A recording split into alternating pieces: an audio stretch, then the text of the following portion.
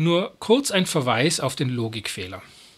Natürlich ist das Blasphemieverbot ein barbarischer Überrest aus dem tiefsten Mittelalter und natürlich existiert dieses Gesetz nur, um vor den Pfaffen zu kriechen. Offiziell geht es bei diesem Gesetz aber um den Religionsfrieden, der ja Teil des öffentlichen Friedens ist.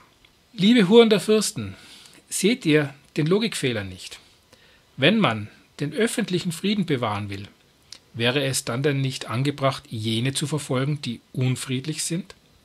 Mal ganz abgesehen davon, dass öffentlicher Friede nicht per se etwas Wünschenswertes ist. Nordkorea hat sehr viel öffentlichen Frieden. Zu viel öffentlicher Friede ist ein Zeichen, dass etwas nicht stimmt. Danke für deine Zeit.